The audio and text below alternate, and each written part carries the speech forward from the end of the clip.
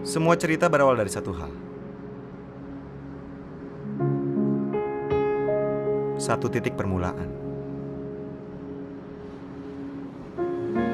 Bahkan dunia yang kian merekah tanpa batas juga berawal dari satu percikan.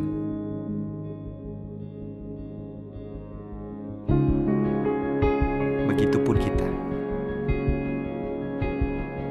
Dengan rumah sebagai titik awal masing-masing. Ibu kota.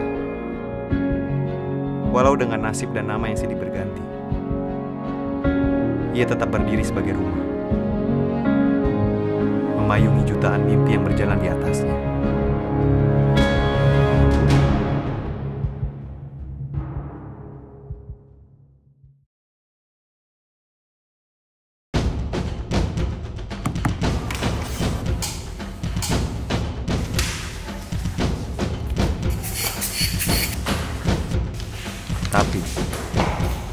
Apa cerita di balik setiap mimpi? Di balik mereka yang memimpikannya. Apa yang mendorong tiap langkah mereka?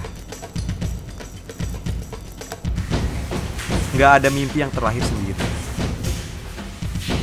Bagai wahyu tanpa bisikan ilahi.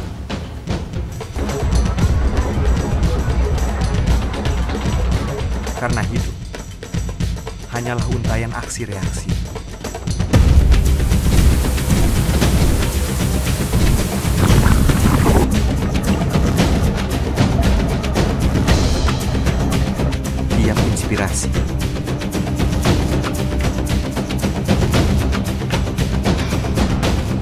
Bermula dari satu keasikan yang dengan waktu menjadi bagian dalam diri. Tapi saat ini, terlalu akrab kita dengan diri sendiri dan makin terasing dari sesama. Apa kita terlalu sibuk dengan mimpi kita sendiri hingga lupa dengan mimpi utama? Mimpi yang diwariskan oleh orang-orang terdahulu.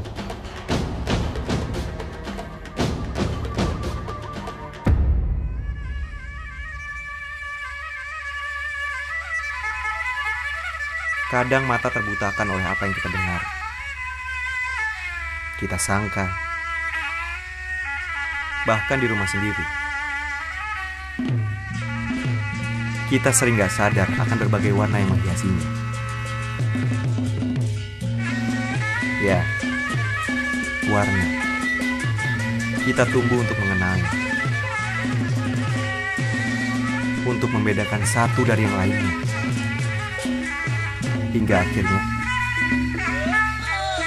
kita terbiasa memilih warna sesuai kehendak kita saja. Terbuai oleh keindahannya.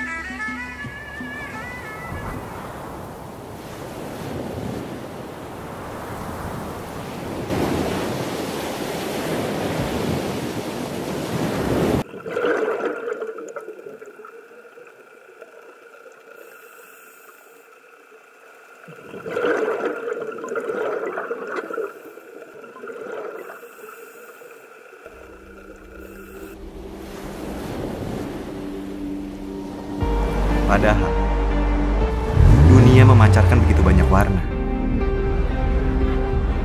Termasuk dalam tiap manusia. Dengan berbagai ekspresi yang menyatu sebagai esensi dari kehidupan di bumi. Indonesia bukan tentang beberapa warna saja. Bukan cuma tentang merah atau putih tapi seluruh spektrum yang tergabung dalam sebuah harmoni. Nada-nada dalam satu orkestrasi. Tanah yang sama menumbuhkan bunga yang berbeda dalam rupa dan warna. Dan setiap warna diciptakan dengan kualitasnya tersendiri. Apalah arti pelangi? Kalau terdiri hanya dari satu warna. Karena tiap warna ada untuk saling melengkapi. Apa pun warna yang kita pancarkan atau mimpi yang kita dambakan, inilah pengingat kita akan sebuah tujuan untuk mencintai setiap warna dari rumah kita dengan hati maupun dalam aksi. Akan warna-warna kian lestari. Sebagai komposisi sempurna dalam kanvas besar kehidupan.